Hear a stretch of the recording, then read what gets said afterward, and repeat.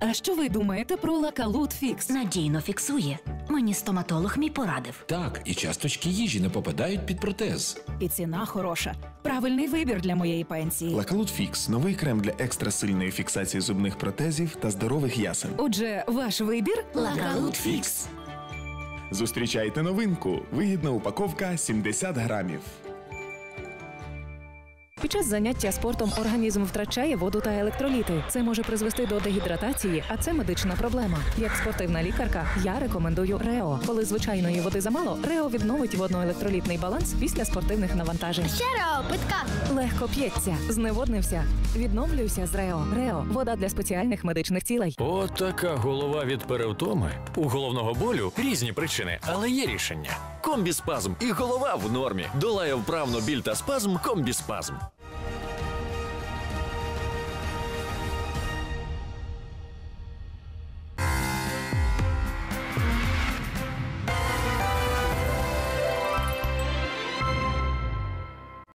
Загорівся центральний ринок. Прильоти Наступні застосували кілька по тижнів на фронті будуть дуже важкими. У російських окупантів ще багато зброї, і вони змінили Окупанти тактику. обстріляли Чернігівщину. Зафіксовано близько 40 Перегрупування прильотів. російських військ на Херсонщині та в окупованих районах Запорізької області свідчить про намір противника закріпитися Ракетного удару по навчальному закладу завдали росіяни вночі. Сталося це в Салтівському районі Харкова. Донецьку спалахнув склад із боєприпасами За даними генштабу, на лінії зіткнення ведуться Росія системно вивозить українське зерно в Туреччину. Ракетний удар по. Миколаєву. Пошкоджені сім багатоповерхівок є поранені.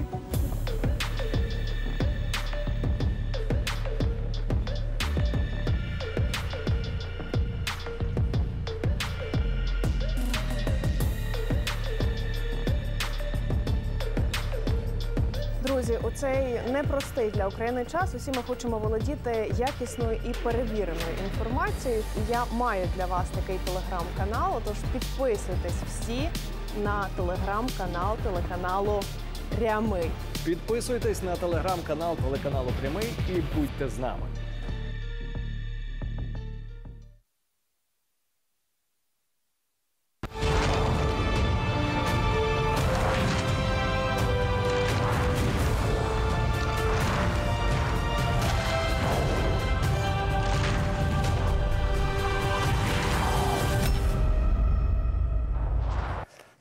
Добрий вечір, шановні друзі. Мене звати Матвій Гнапольський. Це прямий канал, як завжди. З 8 по 10 програма Люди війни. Як ми йдемо війною, як війна проходить крізь нас. Як завжди, е, двоє гостей е, по годині, обов'язкові включення дуже цікавих людей і сюжети, і різна інформація, які підготувала е, для вас редактор цієї програми Ірина Абдуліна. Е, Перед тим як е, ми почнемо, я хочу, щоб ви в черговий раз звернули увагу на наші соціальні мережі. Підписуйтесь на YouTube канал Прямий. Підписуйтесь на телеграм-канал Прямий, ставте лайки, і у вас буде найсвіжіша і найцікавіша інформація, перевірена, між іншим. А щодо гостя, керівник Центру військово-правових досліджень, пан Олександр Мусієнко. Я вас вітаю. Вітаю вас. Тут був дуже смішний момент. Е, Пан Мусієнко прийшов і каже: Ну я розумію, зараз будуть питати, де F-16. Не буду я вас питати, де. А я сказав не так. Я сказав, А як? що чи не вперше мене не будуть питати, де F-16. Ні, Бо ну я можу там відповісти щось- на підльоті. Там вже. на подльоті, там щось воно буде у нас в сценарії, але ну якщо буде, то так. Давайте поговоримо про три квадратні кілометри. Це багато чи мало? От зараз прочитаю. Шановні друзі, три квадратні кілометри території звільнили за минулий тиждень українські захисники на Бахмутському напрямку. Про це повідомляє заступниця міністра оборони. Ганна Маляр. Вона розповіла, що нині сили оборони просуваються на південному фланзі міста. Загалом на тепер звільнено вже 43 квадратних кілометри довкола Бахмута. Давайте послухаємо. Протягом минулого тижня і на сході, і на півдні збройними силами України знищено близько 400 одиниць військової техніки росіян. А, 44 людини взяті в полон. На е, півдні на Мелітопольському та Бердянському напрямку Збройні сили України продовжують наступальні дії. Вони там стикаються з дуже серйозними перепонами з боку росіян. Росіяни е, мінують е, у три шари. Е, всі шляхи, якими можна просуватися, і росіяни укріплюють е, бетоном ключові панівні висоти. Тому просування вкрай ускладнене. До цього хочу додати. Е, Пані Маляр повідомила, що українські військові мають успіх в напрямку південно-східніше Роботиного Запорізької області. Там наразі триває планова бойова робота. Нагадаю, за даними Міністерства оборони, на Запорізькому та Херсонському напрямках російська армія залишається в обороні. Отака от інформація. Так, три квадратні кілометри це мало чи багато?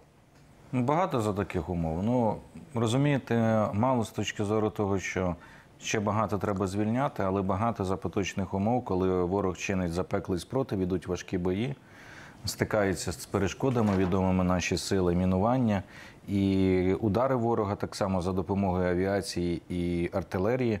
Тому за поточних умов це нормальний рух, той рух, який можна забезпечити в цих умовах. От, власне кажучи, те, що треба розуміти. Я думаю, що було б більше зброї, більше засобів ураження, рух був би інтенсивніше. Ви ж бачите, що те, про що ми говорили раніше, воно зараз випливає в ЗМІ все активніше. От The Economist написала вчора про те, що, що ж відбувається із посиланням на джерела військовому керівництві України. Що нам недостатньо зброї для того, щоб говорити, а ми не хочемо йти на фронтальні лобові атаки. І це правильно виправдано, тому що треба берегти людей, найцінніший ресурс. І, власне кажучи, за таких поточних умов це той рух, який може бути. Було б більше зброї, більше засобів, було б швидше. Ну от е, вчора я прочитав: ну негайно Україні потрібні машини для розмінування. Ну це найбільш А, не тільки. ні, ні, я, я розумію, що все потрібно. Ми багато Ну, разів е, про це говорили. тому- Просто А справа в тому, розумієте, я якраз закінчив, от написав велику аналітичну статтю з цього приводу. Що питання в лініях оборони подібних. Я приводив приклад, ну це на західну аудиторію, туди англомовне. Їм приклад зрозумілий, коли була битва при Аль-Аламейні на півночі Африки. Це відбувалося в часи Другої світової війни. Ромель з нацистської Німеччини фельдмаршал Лис Пустель застосував біля півмільйона мін, а дехто каже більше, замінувавши все і е, обладнавши оборонні позиції. так. Пройти мінні поля і розмінувати їх. Британські війська змогли тільки тоді, коли знищили лінію оборони. Війська людей і техніку, яка перебувала за лінією оборони. Тоді міни для них не становили загроз, тому що сапери спокійно зайнялись своєю справою, розмінували, все знищили, і вони змогли пройти далі. Техніка для розмінування, так і тут. Тут е, важливо не тільки розміновування, а чому ми зараз і так розміновуємо коридори, наші війська. Але Так. дивіться, яка ситуація. Не завжди вистачає техніки, ви це сказали правильно. Заходять сапери. Сапери починають працювати певну ділянку вручну з великими ризиками. Піднімаються коптери, піднімаються безпілотники І прилітає. російські і удари. В таких умовах неможливо нормально розмінувати. Треба техніка. Техніки не вистачає. Тоді потрібно казати, поки не вистачає техніки, працювали б сапери. Якби в радіусі 5-10 кілометрів не працювали б російські групи, не були б розставлені їхні пастки, і тоді вони могли б. Ну, не те, що безпечно, але відносно безпечніше, ніж є зараз, працювати. Тому потрібно все в комплексі. Ну я думаю, не тільки ми це розуміємо. Да? Розумієте, ну ви ж бачите, зараз ми то розуміємо, і на заході багато хто розуміє. Ну ви ж бачите, що ми е, ви ж е, далеко не гірше за мене розбираєтесь у медіасфері і розумієте, що публікації, які все частіше з'являються в західних медіа, запломбом про те, що десь не так пішов наступ, значить, е, Мелітополь недосяжний, е, перемовини і так далі. Це ж ви ж бачите, це ж це ж тренд. Це не одна публікація А якогось чий? одного. Чий? Я думаю, що ми дійшли до певної стадії, яку я називаю де таке з'ясування стосунків за допомогою медіа. От дивіться, нам ну чим, з чим це пов'язано? Я думаю, що був певний план цього контрнаступу, графіки. Так. Десь щось пішло не так. Зрозуміло, що пішло не так. Нам недостатньо зброї, ворог створив оборонні рубежі, і важко це все проходити, треба час. Захід нам каже за допомогою медіа: ну дивіться, ви ж може щось не так зробили. Ми їм відповідаємо через The Economist, ми їм відповідаємо Washington Post, інтерв'ю двічі головнокомандувача Збройних сил Залужного і так далі. А, І ось ця стадія вона пішла. Я думаю, це через те, що щось пішло не так, можливо, як уявлялося нашим партнерам і Сполученим Штатам. І тому зараз ось цей період важливо пройти спокійно. Турбулентність ця буде. Важливо не посваритися, але важливо і відстояти нашу позицію обґрунтовано. І сказати, що давайте ми не будемо зараз казати, що все пропало, опускаємо руки, а знайдемо вихід. Проблема є, є. Ніхто від цього не відмовляється. Ну давайте знайдемо, як її вирішити. Ну ми ж не можемо, дивіться, я говорю от зі своїми колегами, експертами із США, і вони констатують, так, Іран постачає Росії багато дронів.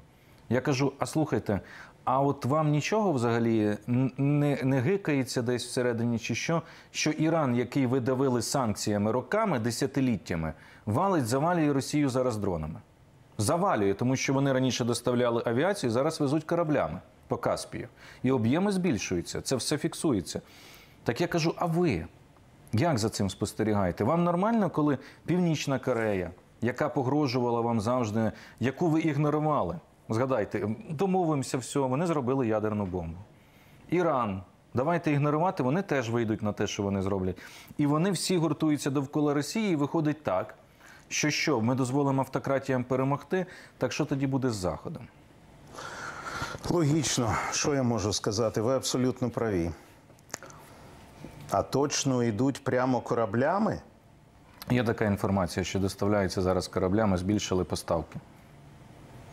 Я не розумію, як американці цього можуть допустити. Просто не розумію. Ну, е, Вони ж знають це не гірше за нас, правильно? Ну, Якщо ви знаєте, ну, звичайно. Ну так е, що ж цей корабль а... випадково не піде за руським кораблем? Ну що таке? Ну, От, власне, в мене ж теж є питання. Є питання. Добре, йдемо далі. І далі сюжет, е, до якого нема питань, як і до його героя. Колишній телеведучий, нині волонтер Денис Христов. Шановні друзі, ви його пам'ятаєте, який з камерою тут ходить GoPro. Знову допомагає цивільним на сході. Тепер відео із часового яру на Донеччині. Давайте подивимось. Люди! Агов! Люди! Минулого разу, коли я приїжджав в часів яр, е, я заходив до цих людей. Зараз будинок розбитий. Я не знаю, чи вижили вони чи ні. Сподіваюсь, що е, встигли виїхати. Це часів яр другий. 17 серпня. Місто Примара. Вітаю вас! Є хтось? Здрасте!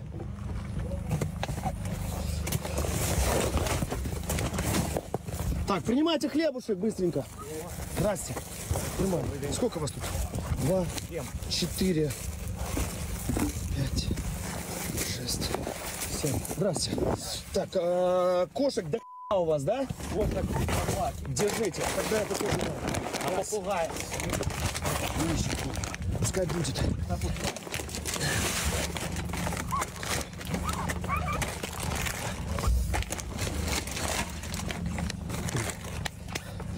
Э, Ну все, наверное, все. Это хлопцам нашим военным. Все, давайте, счастливо. Спасибо. Давайте.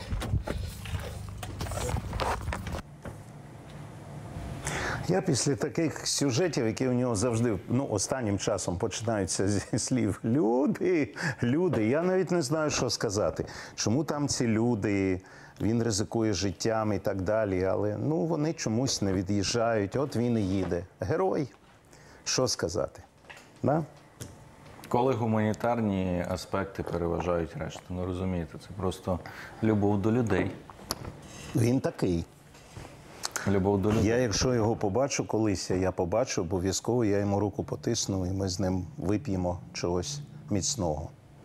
Бо він такий, я пам'ятаю його сюжети. Просто там такі сюжети, як він вивозив з гусі, утки, е, е, цап був, вівці був. Де просто от не поїду, вона каже, без отого. Розумієте? Все, що є. Все, що є, так. Да. Ну, все, що годує. Тому що Давайте поговоримо про людей війни, саме людей. У якому стані, на ваш погляд, зараз наше суспільство? Е, Я думаю, що природньо ми зараз проходимо певний. Ви знаєте, що якщо малювати графіки, і ми йшли, ми були на піднесенні, ми пішли дещо. Потім ми були на піднесенні, що контрнаступ. Зараз ми десь вийшли на середину, тому що я спостерігаю тенденції, от з ким я спілкуюсь, можу сказати що є зараз прихильники того, що треба от зараз все одно бити, йти до кінця, використовувати всі ресурси, резерви, знищувати ворога. Але з'явилося більше і поміркованіших, які починають говорити: ну, може, давайте зупинимось, перейдемо в оборону, може на весну будемо готувати наступ. Може, тобто я ось про це, про ці моменти. Люди далі. Я бачу, що зростає попит на інформацію навіть неприємну для декого. Тобто, розумієте, якщо раніше ми всі були в піднесенні, ось цьому емоційному, зараз ми ворога переможемо, зараз затягується. Час природньо в когось виникає розчарування, запитання, а як буде далі, що буде далі. І люди шукають, їм потрібно це роз'яснювати. Тобто з людьми потрібно говорити чесно і відверто, не потрібно говорити категоріями. У нас все буде добре, все під контролем, там не переживайте. Ні. Не, треба казати, як є. Важкий період і він триває. Тобто ми не зайшли в Крим влітку там чи там зараз. Ну тобто, це треба розуміти так само. Але врешті я бачу, що при цьому всьому, при деякій фрустрації, яка неминуча, мені здається, в будь-якій війні, все одно зберігається піднесення, все одно більшість людей заряджена на перемогу і на боротьбу. Шановні друзі, от якраз радник міського голови Маріуполя, пан Петро Андрющенко. Пане Петре, вітаю вас. Добрий вечір. І я відразу хотів вас спитати: а ви багато зараз бачите людей? Я маю на увазі серед вашого оточення, друзів, знайомих, які кажуть тільки відверто, е, які кажуть. Ну, слухайте, треба вже якось це припиняти. Давайте почекаємо. Ну, те, що говорив пан Мусієнко. Е, Багато таких настроїв. Ну насправді ні. Звісно, я е, ну що приховувати, да? всі втомились. Ну всі втомилися. Це це, це важко е, 24 на 7 працювати в такому режимі. Це стосується всіх, хто і знайомих, і друзів, хто з війську, хто і не війську, хто наближає перемогу. Ну це не просто дійсно. Але дійсно ми всі хочемо закінчити війну з- якомога скоріш. Да? Але ну питання, давайте це якось зупинимо. Там якісь компромісів. Ну це точно ні. Ну принаймні, ну ні. І це стосується всіх там друзів і знайомих, які не лише маріупольці, зрозуміло, там а українців і в моєму оточенні. Ну навіть серед там не знаю природних панікерів, я би сказав, да, які теж є в мене такі. Ну ні, немає. Всі якось розуміють здебільшого, що це надовго, що ну треба готуватись, і мабуть, що сама думка, що це надовше ніж ми очікували спочатку. Ну вона її треба прийняти. От мені здається, зараз якраз така стадія прийняття цього проходить. Е, Ну і самі ми винні. Е, Мається на увазі вся медіасфера, зокрема, і всі публічні особи. Трохи перегріта ситуація з контрнаступом. Він трохи повільніший. Ну, принаймні, зараз мені здається, всі всі ж розуміють, що е, питання ціни да? воно завелике, і тому маємо, маємо берегти наших оборонців. Тому навіть ще довше буде він тривати, ще ну повільніше, але він триває. І те, що ми бачимо з тої сторони фронту, знаєте, я постійно розповідаю, що ну не треба. Ми бачимо те, що нам розповідає генеральний штаб, здебільше те, що нам розповідають наші друзі, які знаходяться в тому чи іншому секторі е, на той чи іншій ділянці фронту. Ну і те, що пишуть там, умовно кажучи, пабліки окупантів. Ну тому що всі це читають, як би ми там цього не заперечували. Да? А от те, що ми бачимо правду, що відбувається з середини. В тому самому Маріуполі, в Маріупольському районі, ну я скажу, що ну воно дуже обнадійливе, і останнім часом прямо дуже обнадійливе. Тому тримаємось, приймемо це і будемо працювати далі. Головне не дати ну, не дати заморозити, заморозити цей конфлікт. Бо це буде ситуація. Знаєте, я ну на Маріуполі можу привести. Це приклад 14 14 рік, активна фаза війни, активна фаза на Маріуполь. ЗСУ разом з Азовом зупиняють е, наступ ворога. Ну фактично на околицях Маріуполя це відбулося. Потім східний. Східний це була, ну тобто для розуміння, це було так. Остання вулиця Маріуполя закінчувалася і починалася сіра зона. Тобто обстріли майже ну, ну не рік, чи трохи менше року, да, до других мінських тривали. От просто міни, гради, вони лягали на околицях. І це було таке активна фаза, активна фаза допомоги. Всі розуміли, що ми на війні. Потім е, Дебальцево, під час Дебальцева сили оборони відкидають ворога до Широкіна. Е, Другий мінський війна зупиняється. Ну насправді закінчилось це для Маріуполя східним. Якщо так згадувати, да, трагедію на східному, а потім ми ж всі, і от війна була завжди поруч, але далеко не для всіх. І ну це погано. Тобто, маємо вже як би важко не було дійти до точки до, до перемоги і не обманювати себе, що це може статися там завтра. При тому, що насправді це може статися завтра. Це станеться, як станеться, знаєте, тобто роби, що ти маєш робити, і не ну не думай про те, що буде завтра. Думай про те, як ти наближаєш перемогу сьогодні. От і все. Давайте перейдемо власне к місту, яким ви опікаєтесь. Яка там ситуація? Така загаль, загальне питання. Ну, загальне питання, воно я би поділив його на три на сьогоднішній день. Да? Цивільна ситуація для українців це погано, тому що ну погано. Інфраструктура гірша є. Перенавантажили її, зокрема. Перенаселенням росіян ну перенавантажена, нічого з нею не роблять, окрім цих потьомкінських деревень, ну типу путінських бетонних. Е, Щодо військової ситуації, все ну плюс-мінус добре для нас, тому що ми бачимо з одного боку до накопичення військ. І це означає, що вони несуть втрати. А з іншого боку, ми бачимо по району, що вони відводять війська і починають будувати нову лінію оборони. Причому будувати це вже серйозно. І це означає, що вони всерйоз оцінюють, що лінія фронту може посунутись до Маріуполя. Це те, що про те, що кажу, що коли ти дивишся з іншого боку, воно виглядає там трохи інакше. І ситуація, то що стосується в цивільних окупантів, яких більше, яких навозять, вони оселяються. Але там теж ситуація дуже цікава, тому що з одного боку їх починають брати на облік військовий і частково мобілізовувати. Ми впевнені, що зараз під е, хвилю мобілізації їх мобілізують. Я думаю, що ви бачите на Росії те саме відбувається з так званими мігрантами. Да, оця синхронність вона і в Маріуполі також є. Е, Це з одного боку, і з іншого боку, етнічні конфлікти вже і перекинулись на військових і просто не замовкають. Да? Чеченці там конфліктують з росіянами саме з військовими, з військової кандид- комендатури, і вже вони пострілялися днями знов е, майже пострілялися. Ну тобто там великий конфлікт всередині. Ну отак от виглядає власна ситуація в Маріуполі. Ну а ось е, вони казали, що завезуть туди е, 35 тисяч е, росіян. Щось таке були плани. Скільки завезли? Отак, по вашим очікуванням, і саме росіян, чи вони когось іншого там завезли? Е, Вони іншого там завезли. Я просто не знаю, як політкоректно, скажімо, сказати про цю частину Ну, з країни СНД, давайте так скажемо.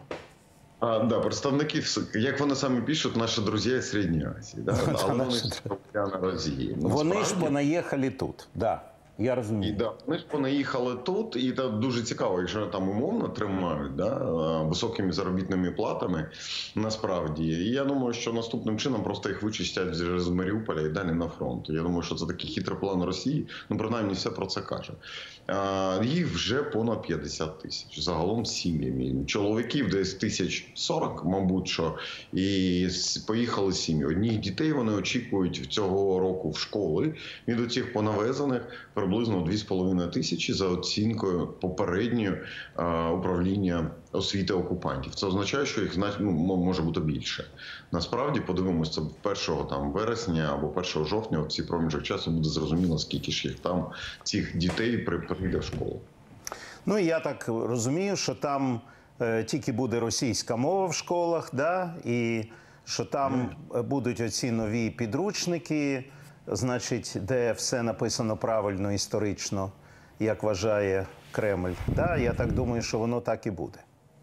То більше скажу, воно так і є. Окрім того, варто додати оці розговори о. Це обов'язково класний час, е, час е, позашкільний, по- по- позанавчальний.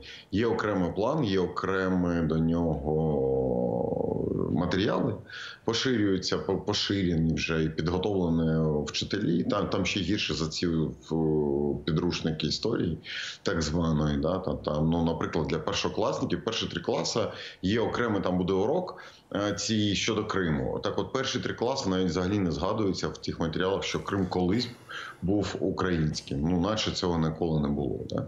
Ну і зрозуміло, що воно рухається так далі. Є окремий е, до навчального процесу, до плану навчального процесу прописан в школах окремий план виховального процесу. Це от саме пропаганда, там і ці розговори важними, підняття прапору, і співання гімну. Там ну купа всього, вся ця там військова підготовка під е, брендом ЮНАРМІ, таке інше, таке інше. Тобто, про ну насправді, от саме діти, і це є і об'єкт, і суб'єкт пропаганди номер один в на окупованих територіях, ну зокрема в Маріуполі. Спасибі вам велике, що ви до нас долучились. Нашим гостем був Петро Андрющенко.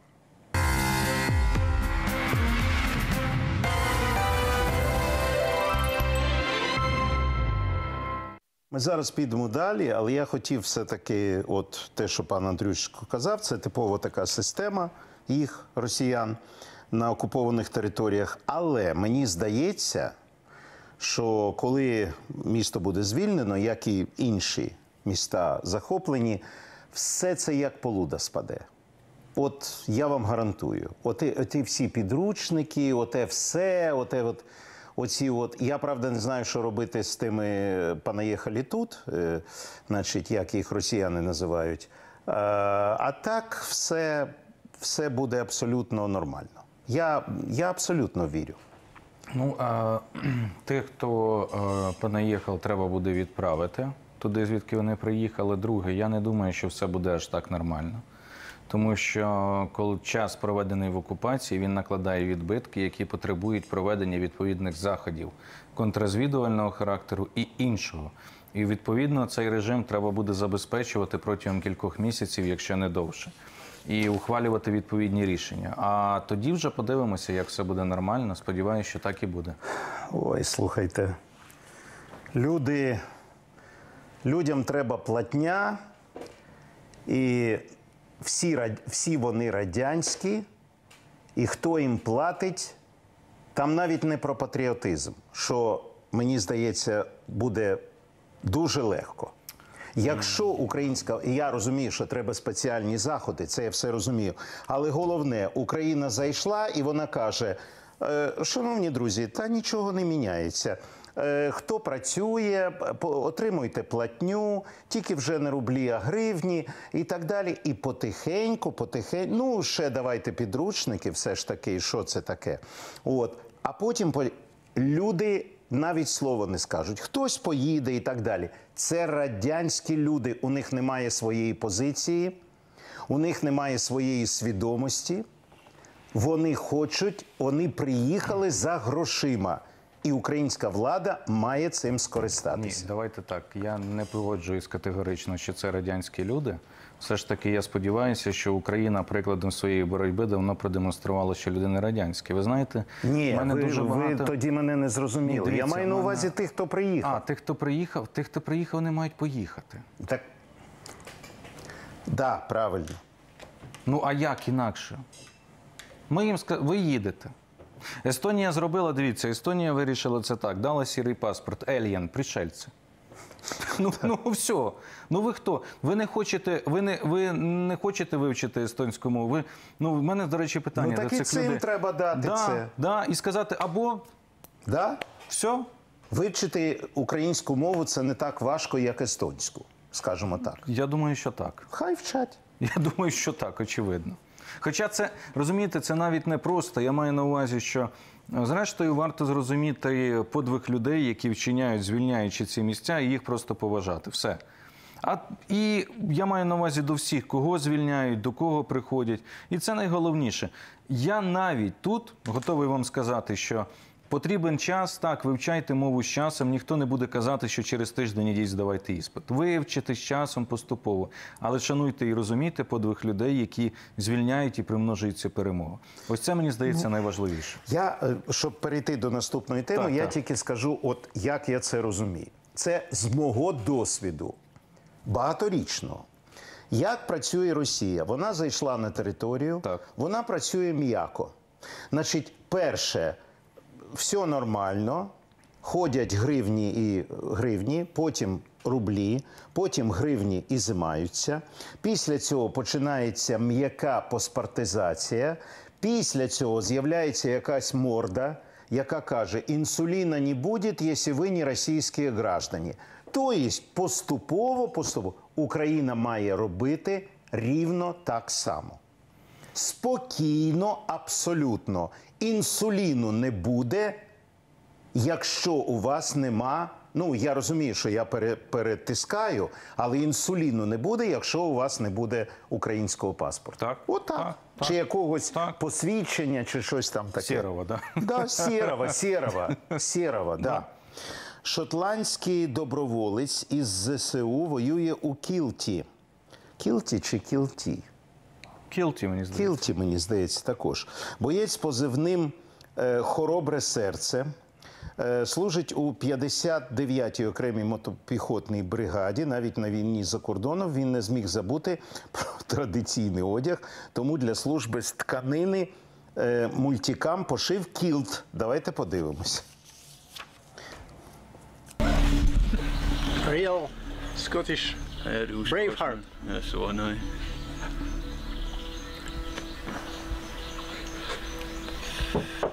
Yeah, so I know. Lova, combat killed.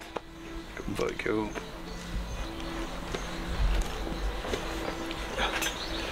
Show us, please, your weapon.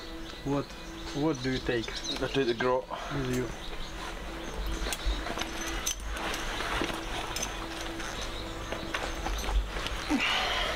M4. That's grot. Yeah. There's a big bag of grenades. Grenades. How many grenades do you have here? Uh, this time four, but last time I took nine. Yeah.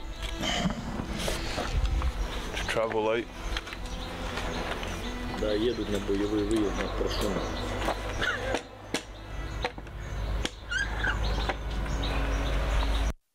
Боже, цей шотландський англійський жодного слова не зрозуміло. Як з, Особливий, да. Да, з, з, з іншої планети. І е, давайте, от знаєте, сьогодні кожний сюжет е, породжує е, тему. Тема іноземці. Зусюди їдуть. Я розумію, що є такі спеціальні люди війни, е, от, які просто живуть війною. Як хтось живе, хтось малює, я сиджу, передачі веду. Війна абсолютно, ну розумієте, ну не військо. А є прямо люди, які от один співробітник нашого телеканалу прямого, причому він дизайнер, дуже талановитий, він встряв в цю війну.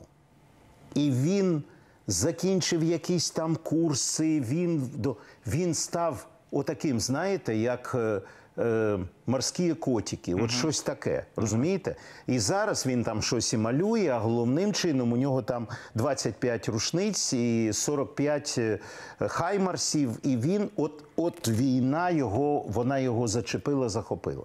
А він про неї не думав, коли він тут працював. Малював собі талановита людина.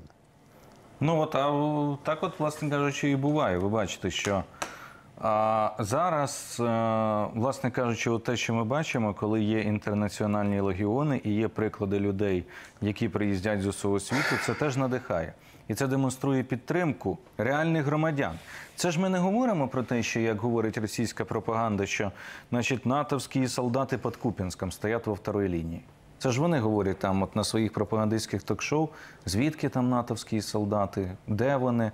Є окремі громадяни, які просто приїхали. Я тому і кажу, люди, люди війни, от люди. ну. Їх же ж не держава прислала в обов'язковому порядку. Вони за покликом серця приїхали і вирішили допомагати Україні. Відчуттям своїм не просто тому, що ну звичайно, ті люди, які в першу чергу приїхали з-за кордону, це не тому, що на них там напали чи вони змушені. Мабуть, вони і люблять і військову справу, і вони це вміють. І добре, тому що приїхали підготовлені, ті, які мають досвід, і вони ефективні в бою так само. Вони відчули ось цю несправедливість, емоційно сприйняли і побачили, що зараз треба допомагати Україні на стороні добра, і для них ці ідеали є.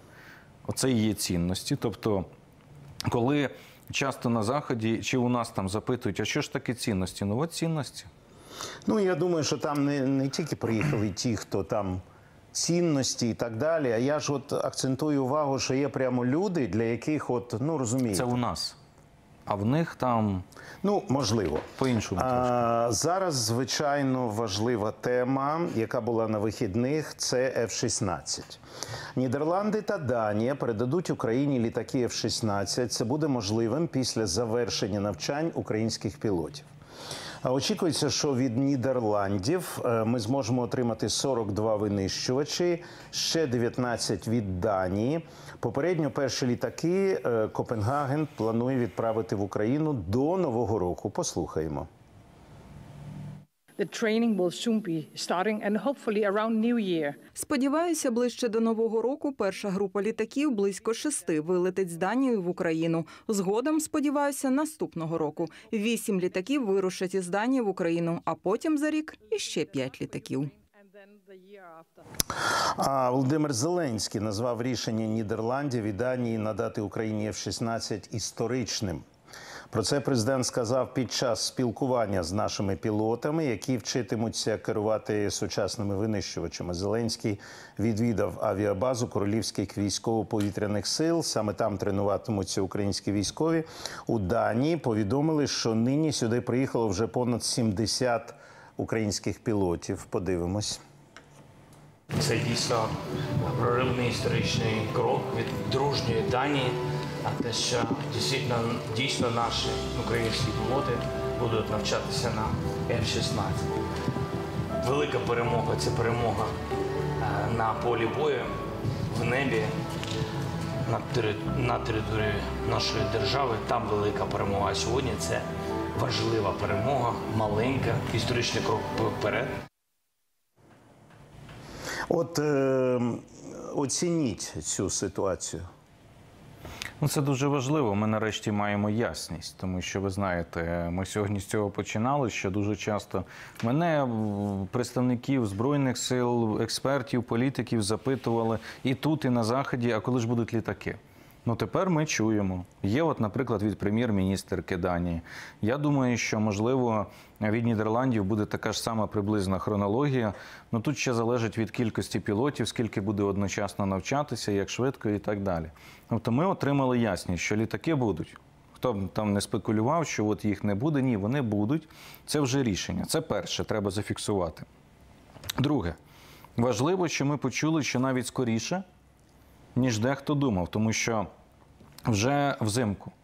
Найоптимістичніші прогнози, які були вже десь там. Да, що наступного року. Да, весною. Навіть влітку писали Вашингтон Пост. Тобто це друга позиція. Звичайно, шість пілотів. Ну, якщо вірити, що їх поїхало вісім, правильно, Вашингтон Пост і наші джерела, здається, підтвердили. Тому скільки їх скільки може приїхати літаків? Ну ясно, що не більше восьми, ну тому що ну а хто на них буде літати? Це другий момент. І третій момент. Ми бачимо, що ось ця коаліція авіаційна працює. А, і я думаю, що це не кінець. Тобто 61 літак це не фініш. Є плани отримати більше. І зараз буде забезпечуватись. От є інформація, що в Греції будуть від проходити навчання наших пілотів. Не впевнений, що Греція надасть літаки. Не знаю. Румунія тому, що, також. Так, ну тому що Греція з Туреччиною, і ми знаємо ситуацію. А Польща є так само. І я думаю, що ми ну було заявлено. Я під, під до контрнаступу казав, нам треба 150 літаків. Сьогодні я бачив повітряні сили, сказали 128.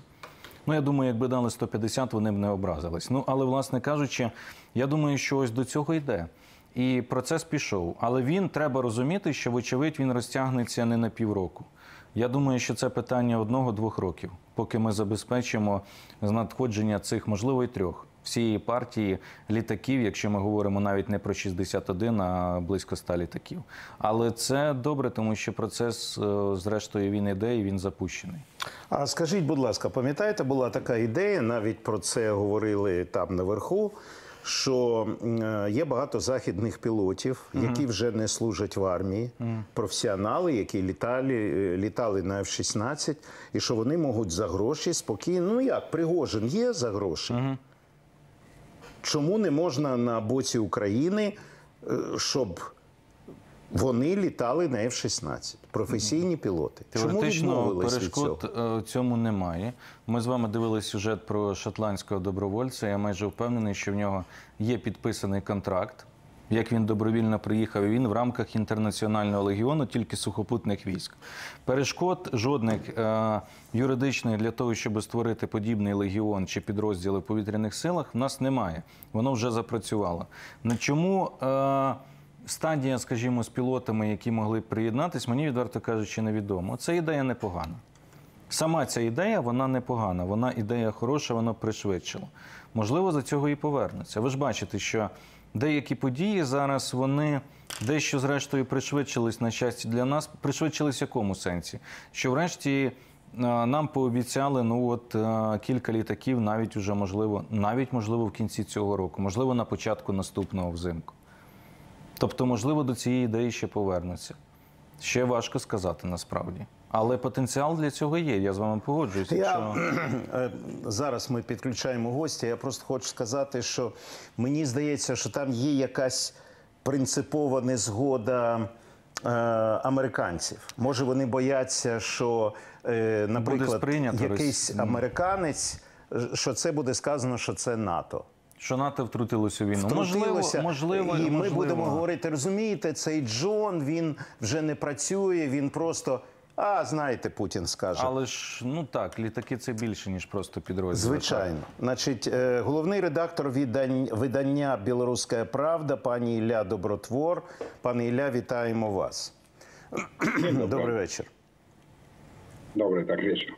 А, дивіться, е, ми так вийшло, що ну, у нас всі коментували інтерв'ю е, Лукашенка, але не коментували люди з білоруської с- сторони, з білоруського боку. Я хотів би, щоб ви сказали кілька слів, що він там наговорив, і як ви це сприймаєте. Ну, э, звичайно, ну, обычно э, воспринимать э, то, что говорит Александр Лукашенко, как бы трудно, серьезно. Потому что зачастую он говорит э, одно, а, а бывает и что в середине фразы э, противоречит сам себе. Поэтому я бы не воспринимал э, что-то так очень серьезно, потому что надо понимать, что в каждом интервью Лукашенко живет э, здесь и сейчас, живет э, в своем мире. Вот, и он пытается понравиться той аудитории, на которую вещает. В первую очередь, э, как бы для Европы он говорит одно, для украинских другое, а для полуукраинских третье, и для российских четвертое. Вот. э, Для меня было важно, что все-таки он наконец э, признал, что Беларусь, пусть косвенно, но участвовала в военных, э, в оккупации Украины, в том, что российские войска проходили через территорию Беларуси. Это очень важно, что он как бы в публичном просторе это признал. Хотя он попытался оправдаться, якобы, что Путин просто его использовал в, практически чуть ли не в темную. Но я бы этому не верил. Вот. Э, Второй, конечно, ну, э, правильно, наверное, некоторые эксперты у нас в Беларуси оценили это как ну, очередную ложь, обман, манипуляции и ничего больше. Попытка как бы себя оправдаться, как будто он пытается оправдать себя перед собой. Ну и, конечно, угрозы Западу ядерной войной, безусловные. А, еще ядерное оружие не пришло на территорию Беларуси, оно не будет контролироваться Беларусью. Но Лукашенко уже грозит всему миру испепелением, как бы скажем так. Хотя никакого как бы а, уплыва, э, влияния на, на вот это вот э, ядерное оружие он фактически иметь не будет. Как бы, ну, я бы не воспринимал это, э, если сравнивать его интервью э, различным каналам, журналистам, то, на мой взгляд, это одно из самых слабых его интервью за последнее время. Даже э, то, что он разговаривал с американскими, там, британскими журналистами, было намного сильнее, и он лучше выглядел. Сейчас он выглядит неуверенно, и надо еще до, до этого додать, что напомнить просто, что буквально на прошлой неделе он давал поручение э, премьер-министру Беларуси наладить контакты с Польшей. То есть он- пытается пробиться как-то в Европу. Э, Он повторил в своем э, интервью, что он пытается стать третьей стороной в переговорах, что Минск, безусловно, должен участвовать в мирных переговорах. Ему хочется вернуть, грубо говоря, все взад и сделать Минск такой переговорной площадкой новой. Минск 2, 3, 4, 5, 6 и бе- до бесконечности.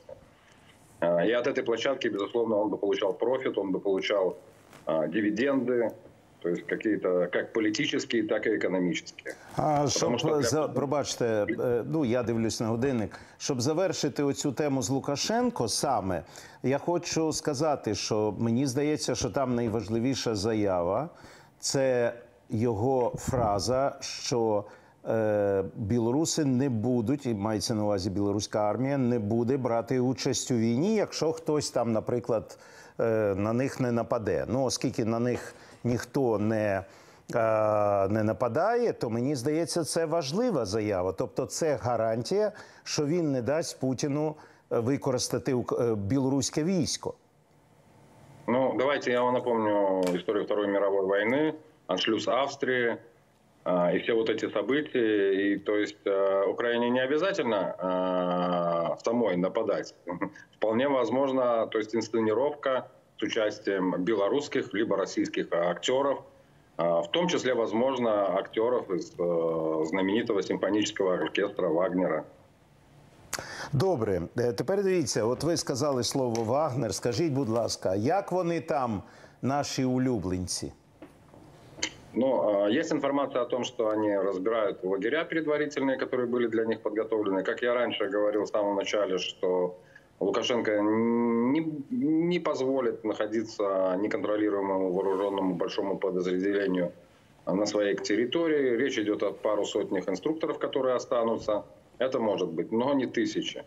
Они могут оставаться только вот перед ударом каким-то военным. Плюс э, после поездки э, Лукашенко к Путину стало понятно, что Путин не будет платить за Вагнер, и поэтому Лукашенко он стал абсолютно неинтересен. Ну, сразу после того, как Путин отказался платить за Вагнера, начали разбирать лагеря. І що? Ну от вони розбирають, і може, куди вони? Ну, я думаю, что в связи с ситуацией в Африке часть поедет в Африку, так как мы читаем новости про то, что Министерство обороны Российской Федерации уже вербует наемников туда.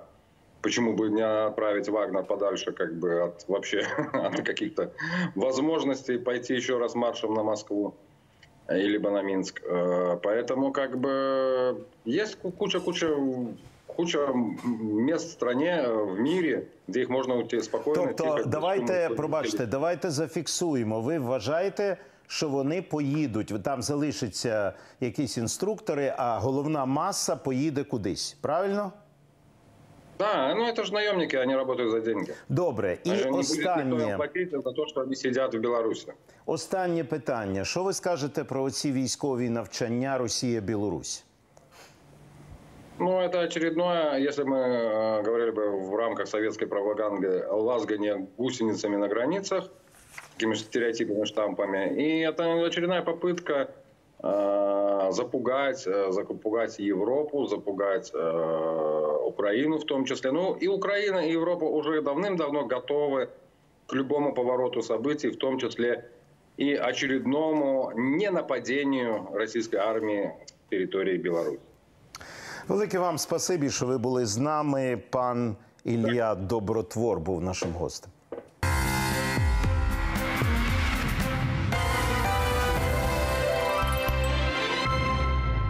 Якщо щось принципове з приводу Білорусі, Ну, тому що е, у нас з вами чудова далі тема. Е, Я Отака. маю просто сказати коротко, що, по-перше, це виключно чутки про те, що вагнерівці хтось їм не платить і так далі. От, не треба в це вірити і вестися на такі, значить, це, це просто чутки. А, вони продовжують виконувати задачі. Я думаю, будуть продовжувати. Вони, мабуть, ще своєї ролі до кінця не зіграли. Не все так просто. Розумієте, Польща і країни Балтії не стали б готуватися цілі частини військові розміщувати. Це що, якби вони знали, що вагнерівці зараз їдуть і вже загроз немає, для чого перекидати 10 тисяч військових на кордон? Що вагнерівці вже виконали всі свої задачі, якщо тільки зараз наростає мігрантська хвиля. Тому не все так ще просто. Частина в Африку поїде, але не треба наївно думати, що вони просто іспаряться. От хтось як думає, Це їх нема. Ні, вони є. Вони ще не всі функції виконані. Принаймні, поки навчання, поки все, вони будуть там. Ну, це, власне кажучи, все, що я хотів додати по цій темі. Добре, давайте тепер про оцього наше російське лихо. Е, Неявка Путіна на саміт БРІКС у Південній Африці свідчить про ізоляцію Росії на міжнародній арені. Про це пише CNN. Е, У матеріалі йдеться про те, що, попри встановлення Кремлем зв'язків з Китаєм та Іраном, Путін залишається на периферії політичної арени. Важливим аспектом також є ситуація в Білорусі. Нагадаю, раніше російський диктатор заявляв, що не вважаю е, свою присутність у БРІКС, цитую, важливішою за присутність зараз у Росії. Ну, давайте послухаємо. Путін відсутній на ключовому глобальному форумі цього тижня саміті БРІКС у Йоганнесбурзі. Його неявка красномовно говорить про ізоляцію Росії і про звуження горизонтів Путіна. Очікується, що там будуть присутні лідери інших членів економічного блоку БРІКС: президент ПАР Сиріл Рамафоса, лідер Китаю Сі Цзіньпін, президент Бразилії Луїс Лула да Сілва та прем'єр-міністр Індії Нарендра Моді. Незалежно від мотивів, неявка Путіна на саміт є невигідною для Москви, але Росія наполегливо продовжує піар-кампанію, яка представляє Росію як рішучу антиколоніальну державу, що підтримує більш справедливий і рівноправний світовий порядок. Ну от не поїхав лідер антиколоніальної держави на саміт БРІКС. Я б сказав, е, таке слово е, закінч... е, починається на О, а закінчується на ся. Оце з ним сталося. От, значить, і це дуже приємно. Е, Я не знаю, як там е, CNN вважає ізоляцію, таку загальну, да? але е, він думав, думав, і вони зважували, зважували. Потім він зрозумів, що краще не треба. І не поїхав. Наш антиколоніальний. Ну, в принципі, давайте скажемо так, що це було прогнозовано, що знайдуться причини, чому не треба їхати. Ну, от гріха подальше, все ж таки Південна Африканська Республіка, Римський статут, ордер на міжнародний арешт. Вся ця історія доволі таки неприємна. Ну і знову ж таки, уявіть собі, щоб навіть писали, от він би з'явився на Брікс, все б писали, чого його не заарештували, міжнародний злочинець приїхав. Абсолютно. Він не хотів цього. І зрештою, саме тому і не поїхав. І це досягнення в цьому сенсі можна сказати, що це перемога в цьому контексті щодо міжнародної ізоляції Путіна. Я тут погоджуюсь. З іншого боку, бачите, що все ж таки ось ця виставка зброя і безпека, яка в Росії відбувалася, яка потрібна більше Росії, не те, щоб продати свою зброю, бо їм потрібно самим, а щоб знайти. Фактично жебрати, зібрати по крупіцям від своїх ось цих країн, які там приїхали. Вона показала, що приїхали Індія, приїхав В'єтнам, чим я був здивований, тому що ну вони таку обережну позицію займали. І ми бачимо, що ось цей клуб держав, який так чи інакше, з якими Росія намагається розвивати співпрацю взаємодію, Азія. І зараз за чому така боротьба за південно-східну Азію, за глобальний південь? Зараз боротьба номер один. Це от майданчик. І те, що він не поїхав в Південно-Африканську Республіку, це перемога. Для нас і для заходу, тому що за це йде боротьба. Подивіться, наш наша конференція в Джиді, яка була в першу чергу організована, це Саудівська Аравія, туди зізвати. Тепер зараз е, США, які на тлі ось цих е, виставок і поїздок Індії на цей е, форум присвячений зброї, активізує виробництво літаків з Індією і вихід на ринок зброї. Ось це все, що відбувається, це ж боротьба ось за це. Тому що зараз найважливіше нам зрозуміти, що підтримка цих країн вона дуже важлива, і за неї йде боротьба. І за неї, за боротьбу за підтримку ось цих країн, зараз мені здається ключове. І в цьому сенсі нам важливо не те, щоб не нам важливо не втратити, а важливо примножити. Бо коли я сьогодні бачу це, можливо, не до цієї теми, але як от не зовсім добре у нас в дипломатичній площині складається з Ізраїлем. І ось ці заяви, які лунають, не хотілося, щоб ми розумієте, втрачали зв'язки, які в нас вибудовані. А примножувати нам потрібно. І те, що не поїхав лідер колоніальної імперії, я скажу, не, не, і африканці мали б розуміти. Вони взагалі, от, тобто, вони мали б зрозуміти, що на сьогоднішній день був хоч радянський союз, так радянський союз давав ідею дійсно антиколоніальної, там освобождення, Да, да. всього всього, от угнітення. А ці самі ж угнітателі. Так ви, значить, антифашист. Ну, вони, ну я розумію, що вони. Я розумію стратегію Кремля. Ви знаєте, там стратегам бути не треба. Давай серед деньгами, кого можемо, можемо купити, Купимо, і з да. режимів все. Да. Е, слухайте, у нас з вами так вийшло, що ми не торкнулись е, теми прилуніння, значить, е, Луни 25. І, значить, ну вони от розбилася ця історія. І я не про Луну 25 хочу сказати, а про е, істерику, яка була, коли вона полетіла тільки. Що от, наконець, ми вийшли і так далі. Е, почитайте. Да, почитайте про Ханова, він такий поетичний текст, що наконець вот русское, оно полетело и отныне, і на Марсі будуть яблука. Але, от знаєте, е, як це сказати? От що таке Росія? Е, приклад. Значить, ми знаємо, що оцей корабель він впав і не спрацював. В Оренбургской области развернули флаг России длиной в 1600 метров. І я думаю, що всі глядачі розуміють, про що йде мова. Флаг розвернули. Розвернули. 1600 кілометр 600 метрів розгорнули прапор. Пробачте, у мене просте питання. Де вони взяли цей прапор? Значить, купили тканину ще. За які гроші? Що це, що це таке? Воно ж коштує кілометр 600 метрів. Це патріотизм. При тому, що знаєте, що я пам'ятаю, згадую, одне дослідження було соціологічне. Здається, по і здається по Росії. Воно було не на нейтральну тему, не політичну. Скільки б хотіло полетіти в космос і оселитися там в колоніях і так далі? Близько 70% сказало, що так. Я думаю, що якби ось так само очистилась Росія, тому я дещо розчарований, що їхні оці лунні програми не вдаються. Можливо б вони полетіли освоювати космос і нарешті відстали би від України і від решти світу. Ну, ви пам'ятаєте, да? москалі у космос полетіли усі. Ну, Ну, це ж я кажу, можна знайти цю соціологію, кому цікаво підняти, це ж вона базується. Я думаю, там щиро відповідали, тому що це не стосується політичної тематики.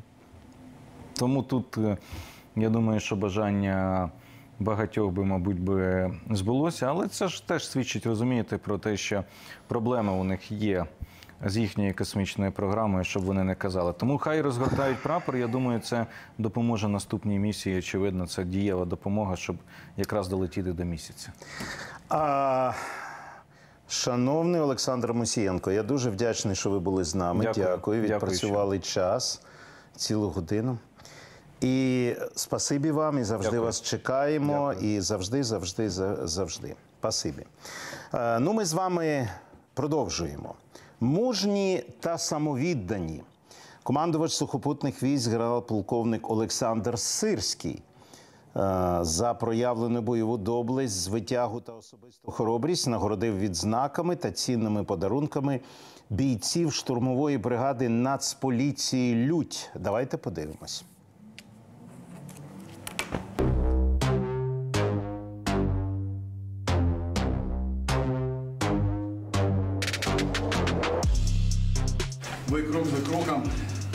Сотню метрів за сотню метрів.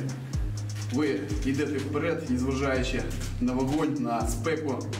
Ви робите, робите те, що в принципі в інших умовах було б неймовірно, неможливо. Користуючись нагодою, я хочу вам вручити відзнаки, цінні подарунки за вашу відвагу, за вашу звитягу, за ваш героїзм. Григорович, щиро вам дякую. Дякую за мужність, за доблесть. Василь Олександрович, Дякую за. Владислав Валерійович, щиро вам дякую.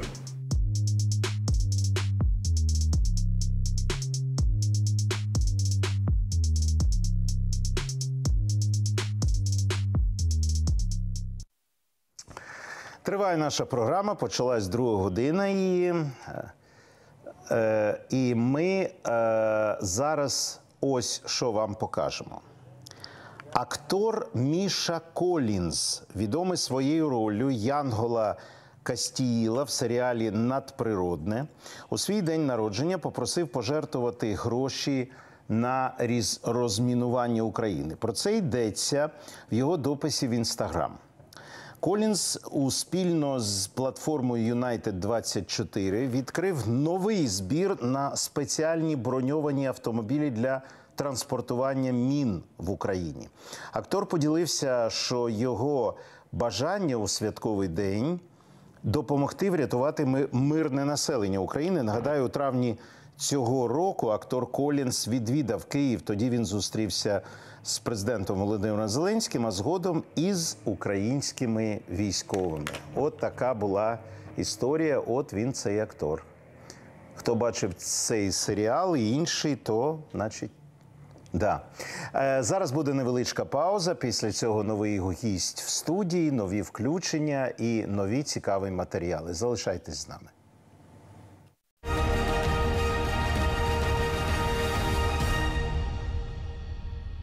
Біль може стати перешкодою. Пішки сходами, не з моїми колінами.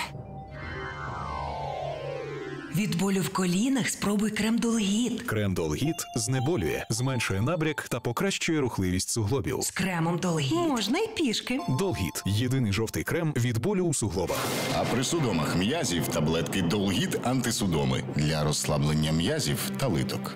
Під час заняття спортом організм втрачає воду та електроліти. Це може призвести до дегідратації, а це медична проблема. Як спортивна лікарка, я рекомендую Рео. Коли звичайної води замало, Рео відновить водноелектролітний баланс після спортивних навантажень. Ще Рео питка. Легко п'ється, зневоднився, відновлюйся з Рео. Рео вода для спеціальних медичних цілей.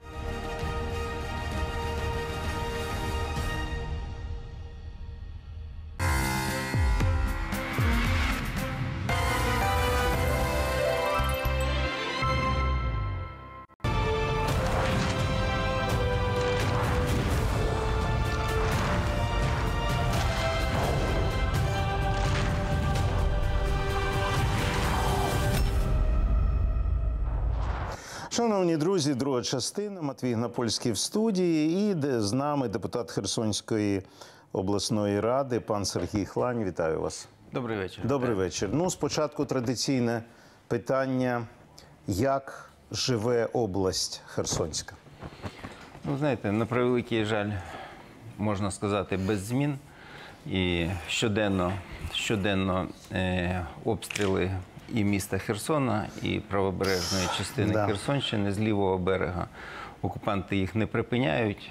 Е, Обстріли ведуться абсолютно з усіх видів зброї. Це і артилерія, Це і безпілотники, які скидають вибухівку, це і керовані авіабомби, це танки, які просто виходять і до узбережжя Дніпра і стріляють з лівого берега на правий.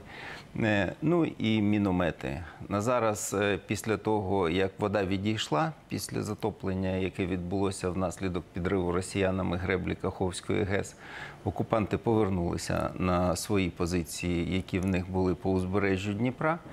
І саме з цих позицій, з плавень, вони почали знову таки обстрілювати мінометами і обласний центр. Важкі міномети вони гатять по місту Херсона. І останні тижні ми бачимо збільшення інтенсивності обстрілів якраз саме центра міста Херсона.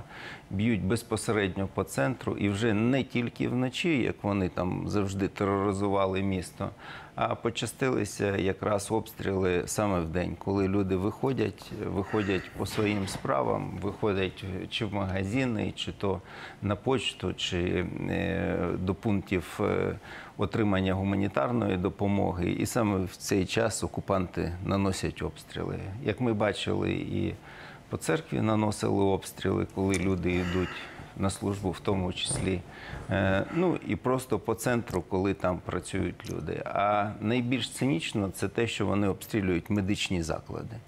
Е, За останні два тижні окупанти тричі обстріляли медичні заклади, і ми бачили і жертви, коли молодий лікар перший день вийшов на роботу і сам Да, ми показували. Ой, трагедія. і загинув в перший свій робочий день.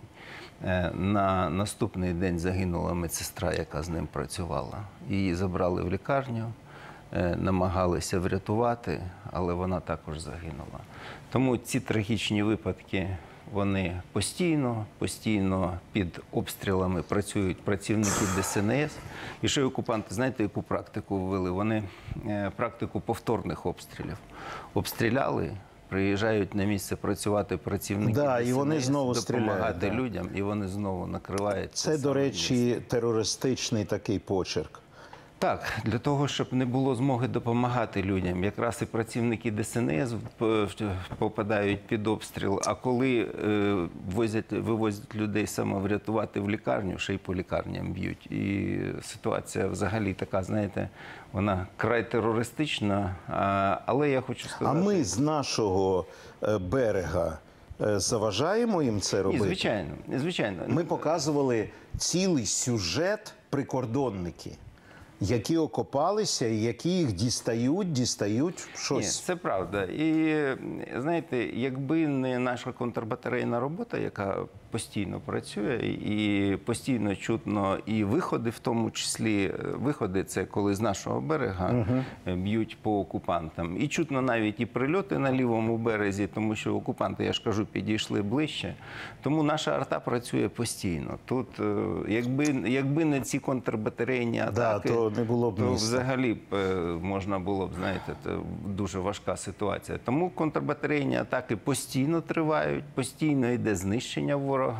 А разом з тим е, і тилові склади ворога палають. Е, Ще й працює далекобійна артилерія, яка не, не залишає ворога в спокої і б'ють саме по тим районам, які окупанти вважали для себе небезпечними. Це там Скадовський район, і ми бачили ураження саме на Джерелгачі. Це українські Мальдіви, заповідник був. А зараз Украї... е, окупанти його перетворили на полігон, пересипавши взагалі за Джагарлицький ліман, зробили проїзну туди частину і там полігон. Вони вважали для себе це небезпечним місцем.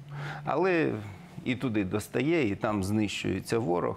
І вже у ворога немає спокійного міста в Херсоні. Вони навіть, я повідомляв про це, е, розглядають перенос своїх там міністерств, да, е, свого уряду е, на територію Криму. Але розуміючи, що це буде великий такий суспільний резонанс, я так бачу, що поки далі обговорення це не пішло.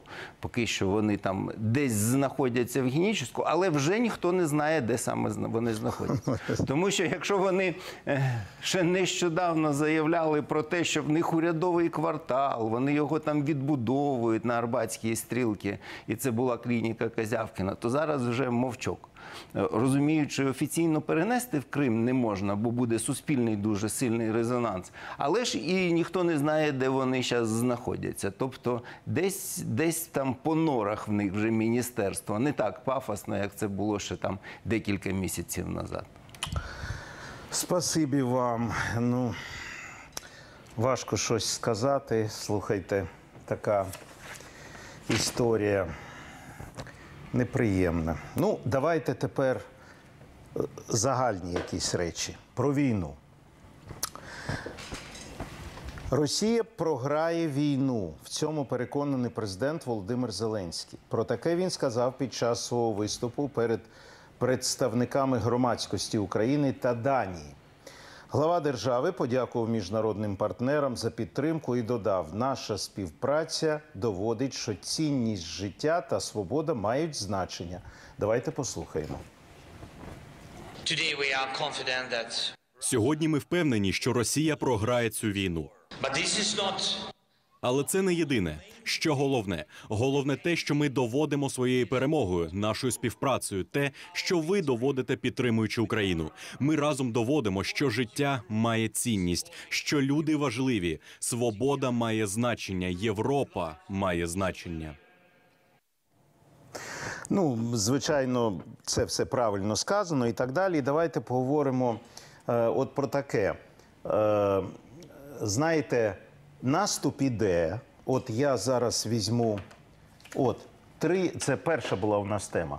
Три квадратні кілометри території звільнили тільки за минулий тиждень українські захисники. Всі ми звикли до того, що це буде повільно і так далі. І от завтра е, зараз е, Зеленський поїхав, домовився про літаки. Вони будуть і так далі. От е, як ви вважаєте, як війна йде поступово, поступово у наш, у наш бік, чи вони відчайдушно пручаються, і у них плани, і вони хочуть стояти там, от скільки можуть? Знаєте, ну я, як кожен українець, е, вірю і намагаюся зробити цю перемогу якомога швидше, але, е, але війна це важка справа. І тут е, не треба носити рожеві окуляри. І треба розуміти, що е, дуже складно, дуже складно, і як ми бачимо, е, в ході наступу е, все ж таки звільняти наші території, тому що окупант за ці півтора роки дуже сильно укріпився і побудував оборонних споруд. І замінованість, яка зараз є е, по лінії фронту, е, вже зазначають абсолютно всі фахівці. Це е, там найбільша взагалі замінованість, яка можлива. Да, да, да, да, да, да, Там да. Всі по, пишуть по про 5 це. мін, по 5 мін там чуть ли не на квадратний метр. Тому е, ситуація дуже складна і роботи попереду дуже багато. Е, Те, що е, сьогодні наші міжнародні партнери нас не залишають і допомагають, і на зараз вже е, схвалено постачання F-16 е, бойових літаків нового покоління, які дійсно кращі, набагато краще російських аналогів і мають переваги е, абсолютно в будь-яких бойових характеристиках. Е, Це дійсно суттєва допомога для наших збройних сил. Треба розуміти, що найголовнішою цінністю взагалі в війні, а ми вже зрозуміли всі, що війна буде довготривалою. І два-три тижні, як казалось на початку війни, і як дехто анонсував, цього не відбулося і не відбудеться. А найголовніша цінність війни це люди. Так. І саме треба розуміти, що нам за допомогою сучасної зброї, за допомогою технологій, треба зробити так, щоб наші втрати в десятки разів. е, Ну, фахівці кажуть, щоб один до восьми, щоб ми зменшили наші втрати для того, щоб ми могли протистояти російській навалі. Тому що мобілізаційний ресурс у рашистів якраз дуже високий. І те, що на зараз обговорюється, що і Росія має резерв там в 250 тисяч ще незадіяних своїх військових, і про те, що вони можуть в будь-який момент мобілізувати ще 500 тисяч. Але ми всі розуміємо, що е, у наших людей, у наших солдат є шалена мотивація, бо ми воюємо за свою землю.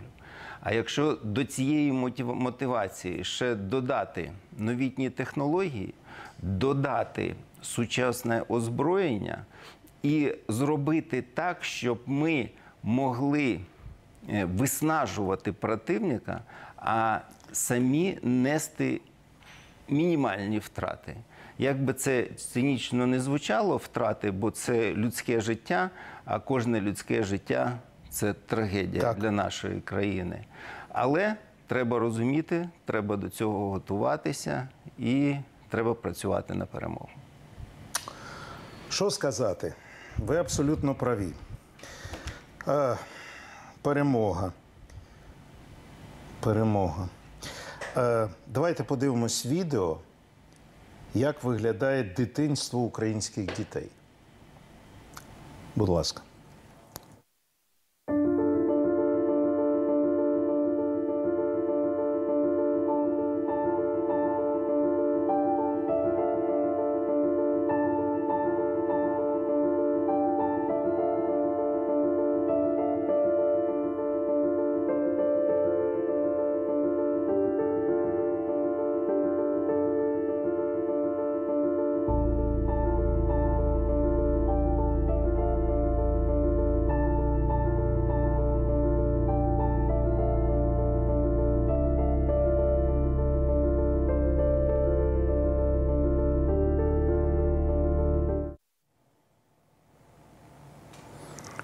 Оце показати декому на заході.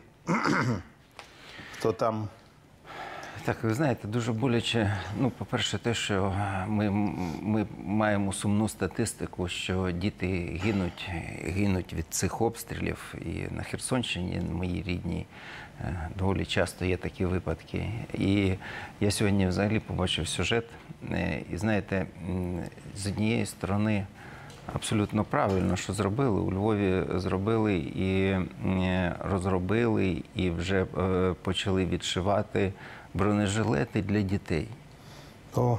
Бронежилети. І знаєте, і це настільки больно, е, це розуміння, що наші діти через це проходять. Це покоління дітей проходить через війну. Знаєте, дуже боляче чути від своїх дітей тривога, треба спускатися в сховище. Е, Дуже боляче чути від своїх дітей, що вони бояться, вони бояться, коли лунають вибухи. І через це проходять наші діти. І ось це ну, такий найбільший біль е, цього чути, бачити і кожен день з цим стикатися. Да, ви праві. От е, з позитивного, якщо хочете. Ну так. Е, ВСУ у 22... Новина надійшла. ВСУ в 22 кілометрах від Токмака чи Токмака. Я не знаю, де там. А? Це, Запорізька область, Да. Токмак. Це залізничний хаб, яким іде все, що не йде ем, е, Кримський, ну, Керченський міст. Якщо взяти Токмак і, значить, е, зіпсувати Керченський міст, то е, завозити щось у Крим буде вкрай важко. Ну, от, е, дійсно, Токмак це залізнична станція, залізничний вузол, який е, є фактично об'єднуючим оцим, знаєте, е, як вони там кажуть, сухопутний коридор. Е, Це е, об'єднання постача- е, постачання, в тому числі і через Крим, тобто закальцованість залізною дорогою навколо Азовського моря. Мгм. Тобто, і якщо розірвати ось цей логістичний вузол, то в них дійсно тоді постачання буде або з Російської Федерації, або з Криму. І то з Криму в них зараз ж проблематично, тому що е, там останні ураження якраз в Херсонській області і залізничного моста, який там вони відновлюють. Але ж що я можу сказати? Цілі ж вони пристріляні. І Ну да, як можна ж туди влучити вони, наступного да, разу. І ось ці логістичні постачання вони дуже важливі для ворога. І розірвання саме ось цього маршруту і залізничної цієї станції для окупанта буде таким великим провалом і початок деокупації лівобережної України. А Давайте долучимо до нас експерта з питань розвитку авіаційного ринку, пана Богдана Долінце. Е, Пане Долінце, вітаю вас. Добрий вечір. Вітаю, добрий вечір. Добрий вечір. Давайте почнемо з приємних новин. Е, Хоч руками ми їх не мацали, про F-16. Ну що, будемо мати? Е, Ну, не 150, і не 200, не 500, а оті там будуть десь 40, 50. Вони зіграють свою роль? Да, в принципі, як раніше ми багато разів обговорювали, що це питання часу. Тобто, станом на зараз ми бачимо, що є підтвердження щодо можливості передачі певної кількості літаків. Е, Звісно, говорити про те, що ці літаки кардинально змінять ситуацію на сьогоднішній день, поки не доводиться, тому що повна потреба збройних сил це 4-5 авіаційних бригад, е, тобто мова йде там про порядка 128-200 літаків, в залежності від їх типів та е, відповідно комплектування. Тобто, якщо ми говоримо про те, що найближчим часом, а це насправді, якщо брати навіть графік постачання, який озвучила Данія, то це кінець 23-го, 24 і навіть початок 25-го року. Е, Ми отримаємо там певну кількість там до 50 машин. Ось ми розуміємо, що це виключно потреба на період військового стану. Якщо ми розуміємо про довгостроковий розвиток, то звісно необхідно буде шукати ще літаки для того, щоб там в після завершення війни в довгостроковій перспективі замінити е, весь авіапарк радянський. Ми тут, е, коли говорили з Олександром Мусієнко, було цікаве питання. На ваш погляд, чому е, не скористалися тою ідеєю, яка була на початку, е, щоб взяти пенсіонерів, відставних західних пілотів, які літали на F-16, дати їм гроші, і вони б спокійно літали на F-16, воювали б за Україну. Як найманці. Найманці, да? Найманці.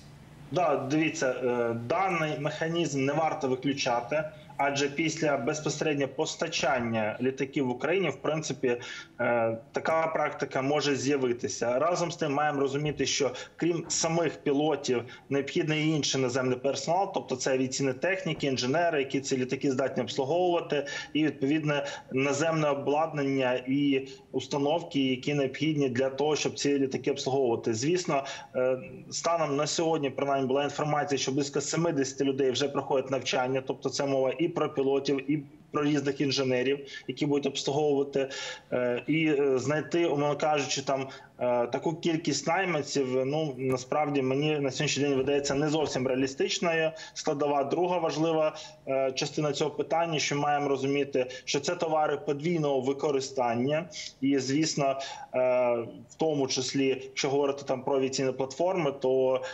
передача дуже є така політично складна тема, і ми бачимо, що партнери дуже довго відтягували цей процес, але він нарешті таки е, відбувається поетапно. І модель із найманцями це може бути виключно як якийсь додатковий елемент, разом з тим, як основа такого стабільного, так сталого розвитку саме авіаційного компоненту збройних сил. Е, На жаль, ну ми розуміємо, що це мало ймовірно, і це може бути виключно якесь доповнення вже до існуючої моделі. Давайте тепер поговоримо про цивільну авіацію російську. Значить, з одного боку, щось е, у них там проблеми, і ми розуміємо, які запчастини туди-сюди. З іншого боку, пам'ятаєте, було повідомлення, що вони домовились з якимись фірмами, е, які будуть обслуговувати ці літаки. І що ну вони там підкручують їх, під, е, щось там ремонтують і так далі. Літаки літають, правда. Е, Сьогодні вранці було повідомлення, що Росавіація е, видала наказ про зменшення е, рейсів.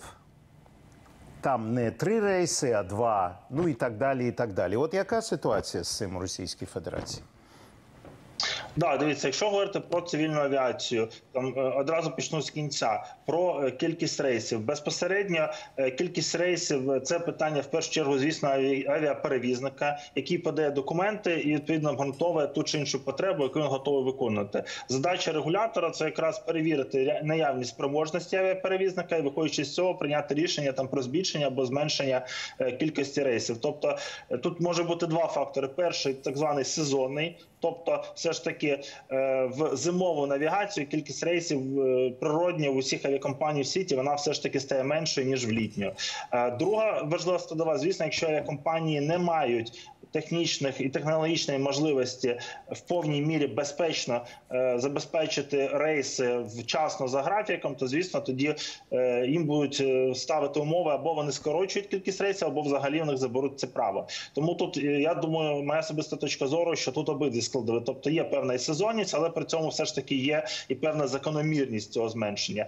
Якщо говорити про ремонт, ми бачимо, що ті компанії, про які публічно говориться, то це як правило ті компанії, які проводять або так званий несертифікований, або неліцензійний ремонт.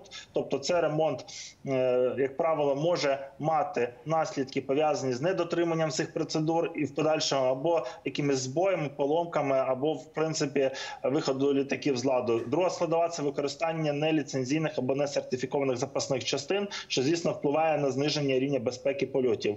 Але крім того, ми розуміємо, що є і інші компанії, про які, як правило, не говорять. Їх іноді тільки за руку ловлять. Ці пам'ятають, якщо влітку був скандал, коли спіймали турецьку компанію, яка допомагала Росії підтримувати відновлювати їх літаки цивільні. І я більш ніж певний, що таких компаній справді більше. Просто на жаль, поки що ще не всі компанії зловили.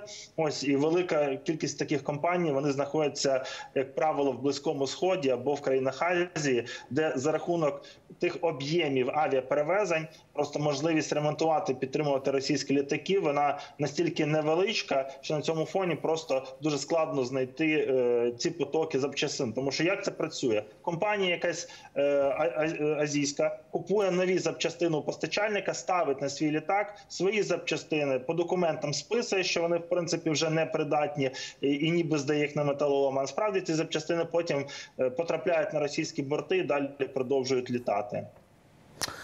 Да. А скажіть, будь ласка, от у нас було багато літаків.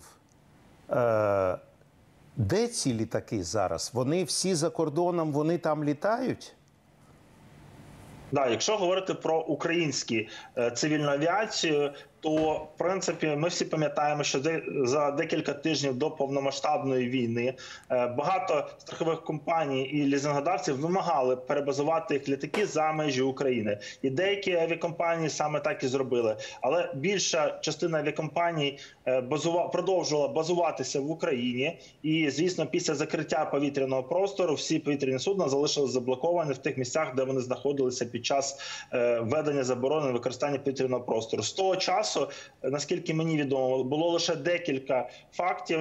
В принципі, вони загально відомі, коли за спеціальними дозволами вдалося евакуювати там окремі борти. Це був один борт компанії Wizz Air і один борт компанії SkyUp. Також було два військово-транспортних літаки Туреччини, які також восени покинули територію України.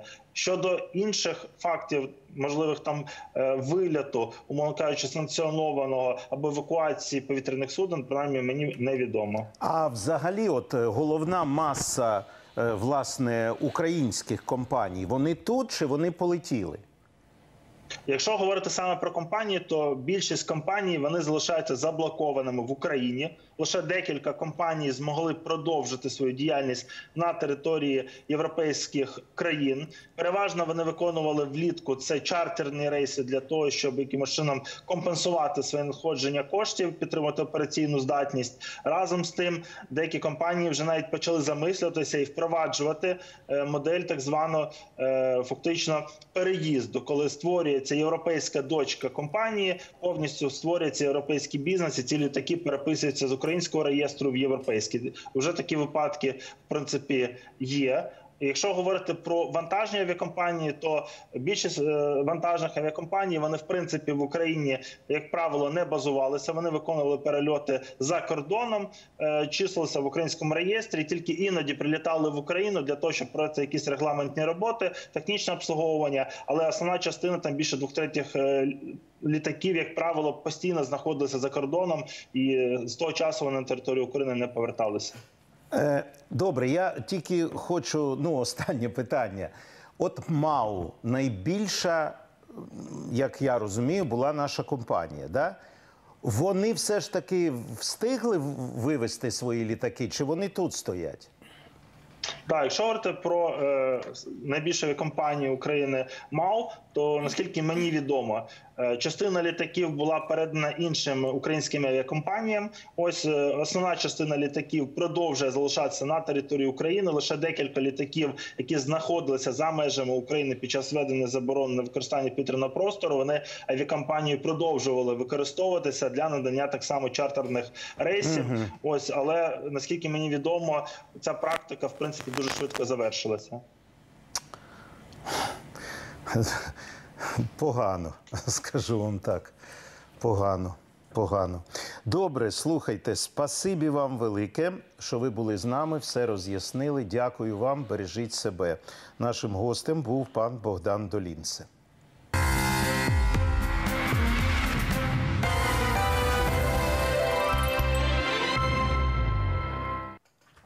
Я думав, вони всі полетіли геть.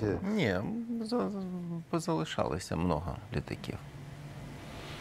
Іноземні всі повиводили, тому що вони ж припинили ще рейси там десь за 3-4 дні Да, до да. початку вторгнення, і всі іноземні компанії вивели. А наші, м, мабуть, не всі. Ой, господи.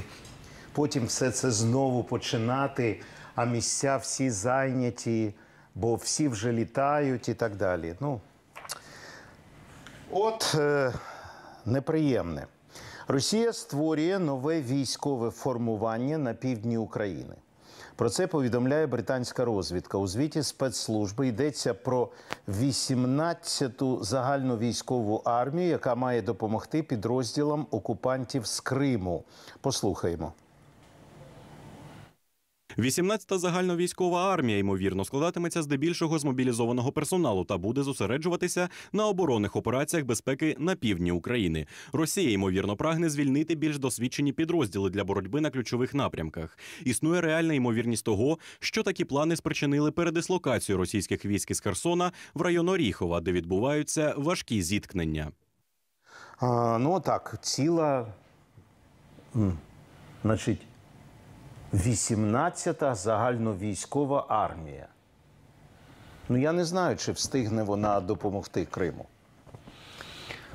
Ну, знаєте, е, в окупантів завжди була така практика, що вони використовували Херсонську область е, для своїх вновь мобілізованих як е, пункт такий, знаєте, злагодження. Спочатку вони їх завозили на Арбатську стрілку, там в них є полігон. Е, Вони там проводили бойове злагодження, а тоді їх направляли на окуповану територію Херсонщини на лівому березі. Там і блокпости, і ті військові формування, які є там по узбережжю, вони підсилювались, але згодом там за півроку їх відправляли на Запорізький напрямок. Е, І, до речі, зараз же чому там повідомляють про те, що окупантів багато дезертирів, і вони їх там шукають по населеним пунктам. Там такий е, гучний випадок був в Гарностаївці, там де було найбільше е, якраз дезертирів в окупантів, тому що е, вони розуміють, що на запорізький напрямок то білет в один кінець. Тому вони тут намагаються як навдовше утриматись е, в Херсонській області. Е, Ну а коли їх починають командувати туди е, на в зону активних бойових дій, то відповідно вони і починають тікати. Але я так розумію, що зараз вже ситуація з поповненням резервів е, складна, тому вони і формують ось цей новий армійський корпус. Ну і тут ще один аспект треба розуміти, що вони вже е, Херсонську область. Е, І саме Дніпро не вважають такою вже безпечною перепоною, як вважали раніше.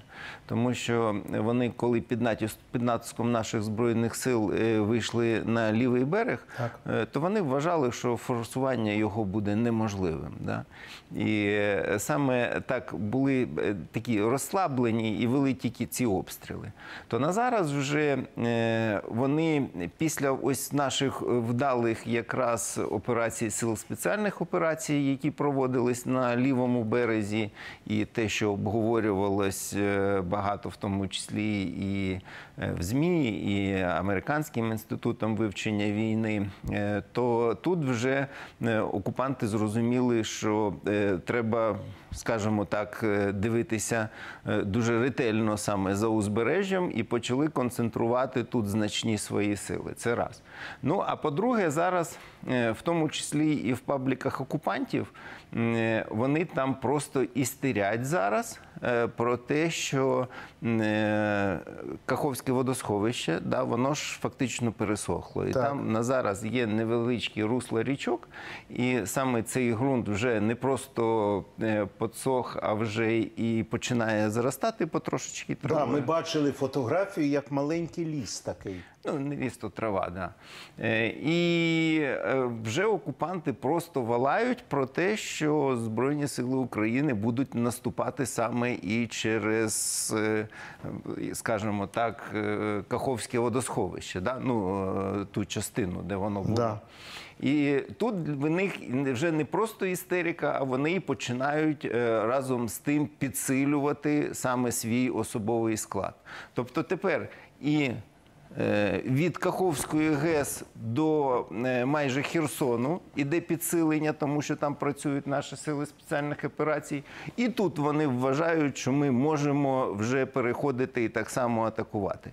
Тому, можливо, ось це створення цієї армії якраз буде для посилення е, того, щоб вони там знаходились на лівому березі Да. Дніпра. А, значить, е, давайте от що подивимось. Е, Шановні глядачі, пам'ятаєте, у нас як були такі сюжети невеличкі, як корисні поради, чим як користуватись, що воно і так далі. І так далі. І от зараз туди, туди.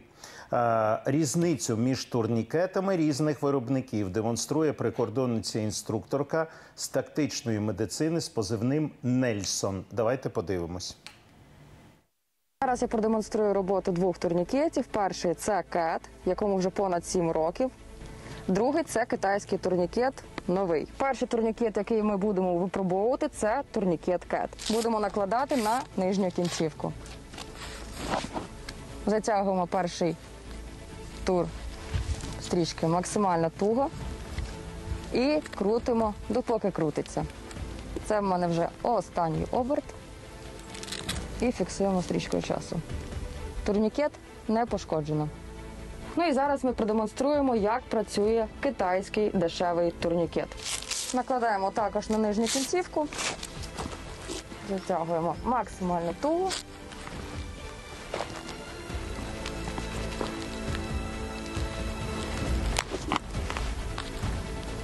Ось яскравий приклад того, як працює китайський турнікет.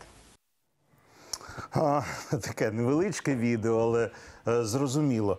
Е, ви вірите китайським е, турнікетам і всьому іншому?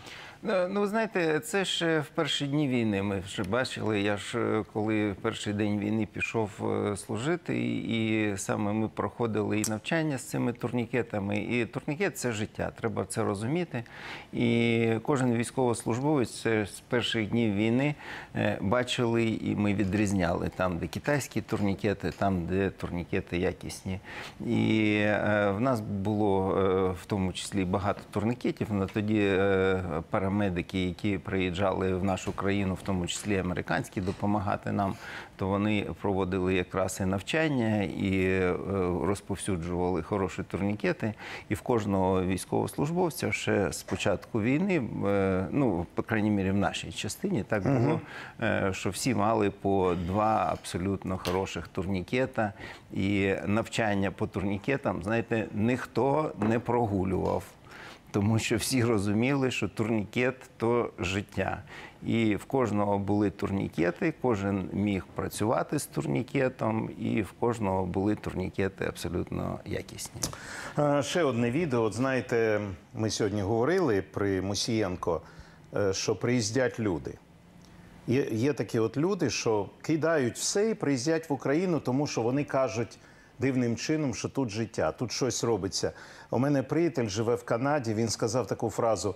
Я спитав його, як у тебе справи? Ну я знаю, що він пенсіонер. і Він каже: живу як в желе. От розумієте? Ну, а дехто не може жити як в желе. І от вам приклад. Столяр із Австралії перелетів через океан, щоб допомогти відбудовувати Україну.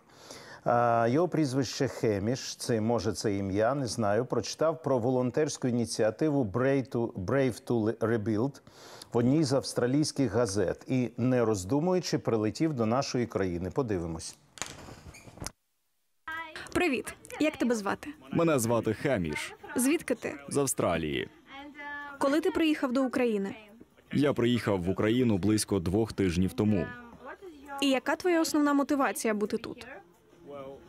Ну, в Австралії я працюю столяром, а в Україні є багато роботи з відбудови, яку потрібно зробити. Тому я подумав, що це хороша можливість використати мої навички, щоб допомогти країні відновитись. Круто. А як ти дізнався про проєкт сміливих відновлювати?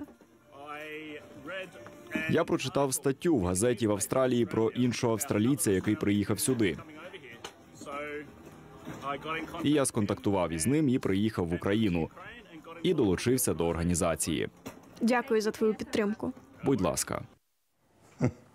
Ну, отак, бачите, приїхав. Приїхав. Так, ви знаєте, і я ж кажу, що я е, із перших днів війни е, бачив американських парамедиків, які фактично були разом з нами і майже на передових позиціях. І е, це ж так само добровольці. І я бачив журналістів, які приїжджали, і один журналіст, який брав в мене інтерв'ю в Миколаєві, да, коли ми стояли під Херсоном. Е, І він загинув. Він поїхав з Миколаєва, поїхав е, на інший напрямок і загинув там під обстрілом. Це був французький журналіст, е, молодий, амбітний. Він там знімав цілий, ці- цілий фільм про якраз агресію Російської Федерації.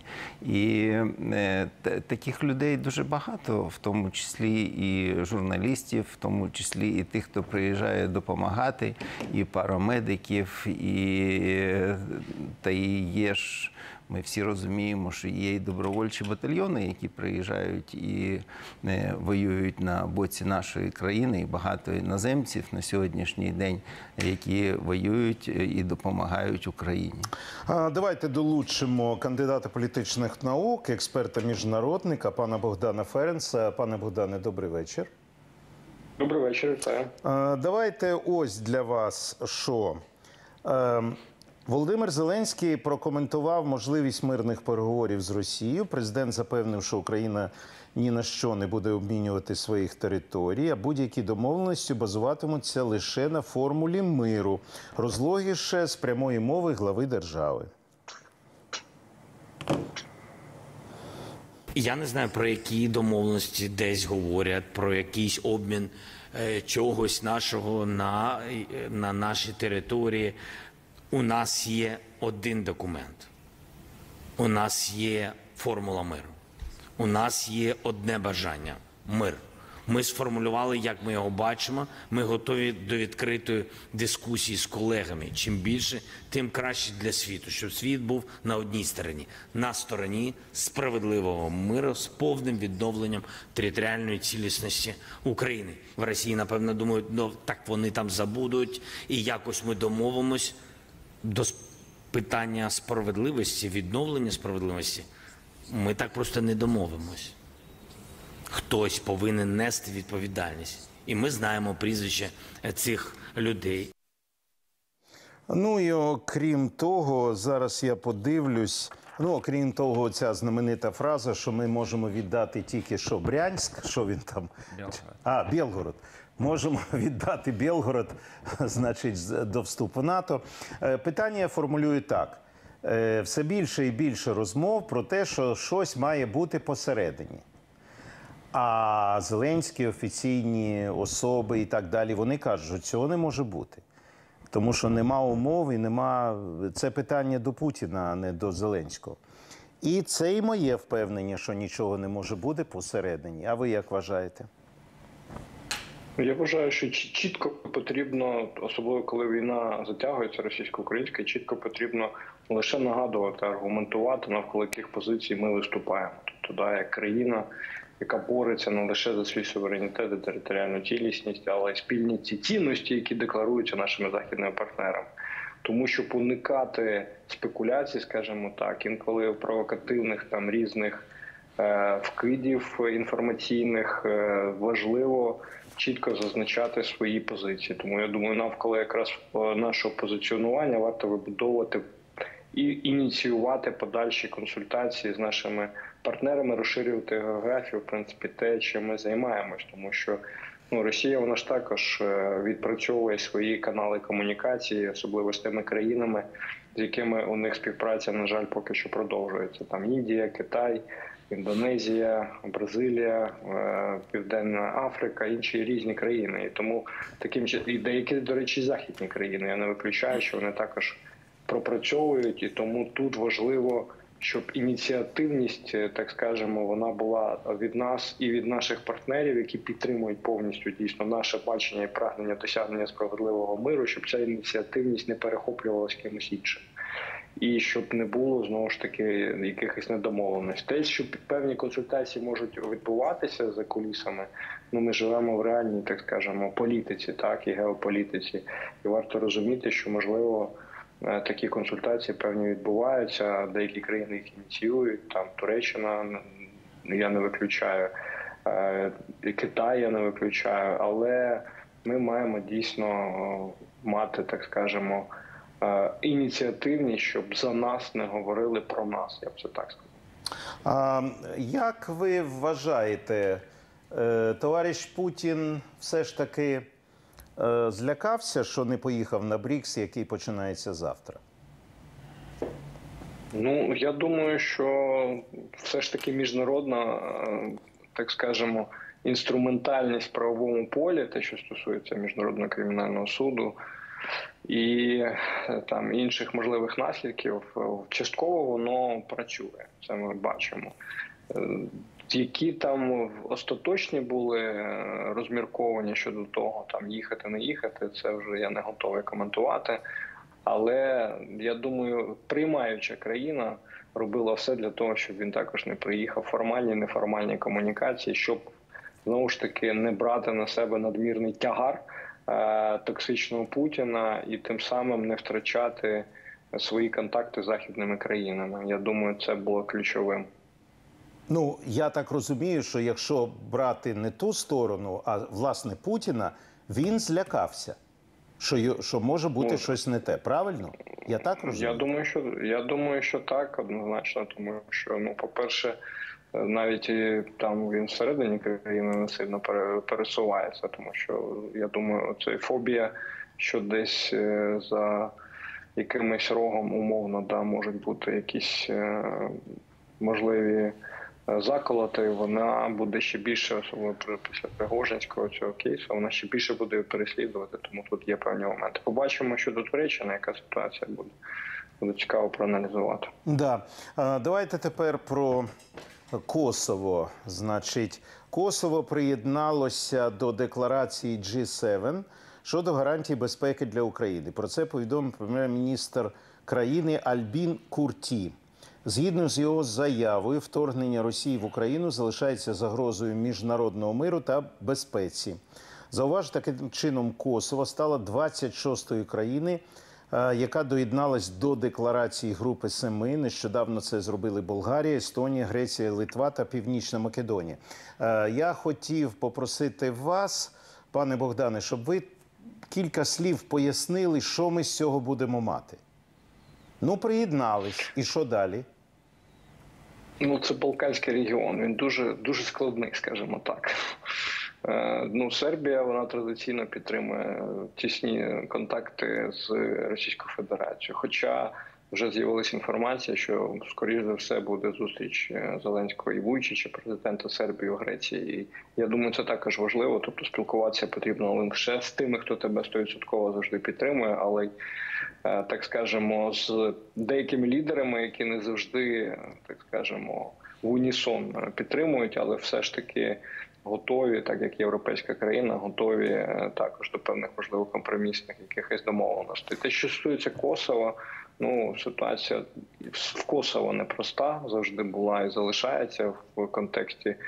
е, Взаємовідносини, якщо це можна так називати, з Сербією, тому вони, я думаю, долучилися більше на хвилі, так скажемо, того, що великі країни, європейські, західні країни дійсно е, посилюють співпрацю навколо підтримки України, і таким чином Косово резонує також і намагається декларувати дійсно те, що стосується протидії російським впливам, наративам, особливо на Балканському регіоні. Нагадаю, Росія завжди була дуже активна на Балканах, тому що використовувала цей регіон у своїх цілях для підриву безпекового характеру Європи загалом. Тобто вони і далі намагаються це Е, робити. Їм це Дозвольте, дозвольте додаткове питання, щоб глядачі зрозуміли. Оця історія, яка має назву Декларація Групи Семи. Що ми з цього маємо? Що Україна з цього маємо? Е, е, має якусь допомогу чи у дипломатії якась спільна позиція? Що це означає? Перше, це позиція. Навколо спільної позиції напрацьовуються якраз, е, так скажемо, переговірні якісь елементи, тому що потрібно погоджувати цю саму декларацію. Але декларацію в подальшому, якщо вона приймається, її потрібно наповнювати змістом. Якраз тут питання вже більше до двосторонніх форматів, форматів е, домовленостей, угод з цими країнами, які підтримують або підписуються під декларацію, тобто наповнювати практичним змістом у контексті військової допомоги, у контексті фінансової, економічної. Я думаю, ініційовані оці так скажемо, попередні домовленості Сполучених Штатів Америки вони можуть слугувати е, таким хорошим підґрунтям для розширення і практично наповнення змісту деклараціями. Тому що якщо цього не робити, то залишається лише більше позиціонування, тобто так. Е, Спільні цінності, е, підтримка, і, і в основу цих декларацій потім е, лягають прийняття тих чи інших рішень, наприклад, там по F-16, по інших видах озброєння. Але щоб конкретизувати, і особливо в контексті гарантування або зобов'язання наших партнерів надавати нам цю сталу підтримку і гарантувати нашу безпеку, тут двосторонні угоди, е, я думаю, були б дуже доцільними. Спасибі вам, що ви були з нами. Богдан Ференц був з нами, шановні друзі.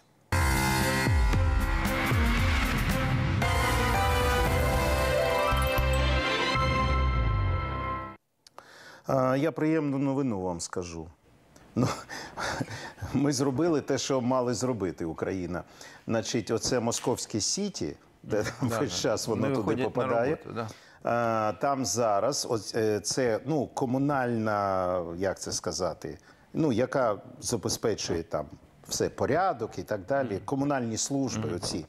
Значить, написано, що 24-го е, міністерства, люди, які працюють в міністерствах, відомствах, тобто все, що стосується держави, на роботу не приходити.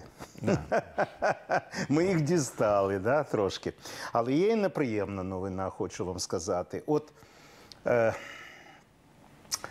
я дуже розчарований. Знаєте, ким? Навальним. Я вам скажу. Е, ну, це ж, будемо так казати, єдина і, е, альтернатива Путіну. Ну, що робити? Ну, єдина. І от дивіться, це цікаво. Я не звернув на це увагу, але воно є. Значить, е, у Навального, ви знаєте, ідея е, вибори. Голосуйте за кого завгодно, тільки не за єдиною Росію. І от він пише: а ви мені скажіть, що тут не так. Э, Многие удивляются, но выборы все еще существуют. 10 сентября они пройдут в 40 регионах. Таким образом, нам надо определиться с отношением к этим выборам, и я позволю себе внести предложение. І далі він пише, що голосуйте за кого завгодно, тип. Ви не, не, з- не відчули, що тут не так? Ні, ну розумію, що він закликав фактично, щоб голосували на окупованих територіях. Це да, Ні, він не закликав. Ну, але ж е, Але він не цього. жодним чином, там у нього великий текст.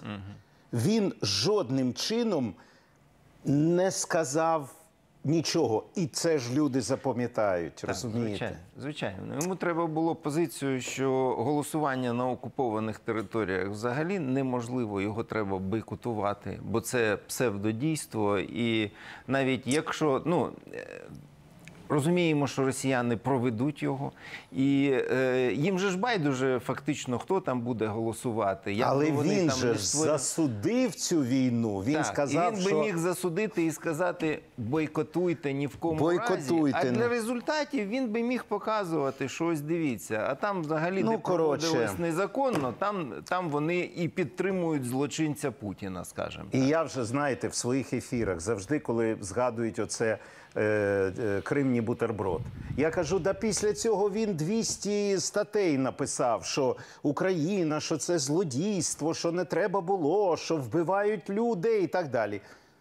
Гаплик. Так, е, українець це стан душі. Скільки б років тобі не було? Давайте подивимось. Червона похилилась, чогось наша славна Україна зажурилася, а ми свою червону калину підіймемо, а ми нашу славну Україну розвеселимо. Ой, у лузі червона калина. Ну, я хочу сказати, що може для Євробачення трошки ну, треба ще під, підлаштувати щось, але взагалі напрямок вірний.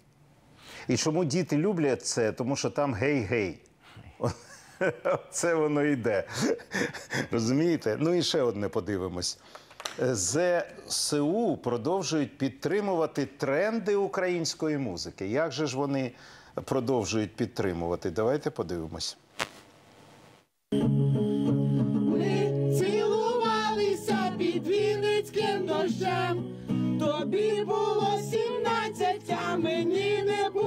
Ще. Дощ прийшов, і сонце стало. Що це таке?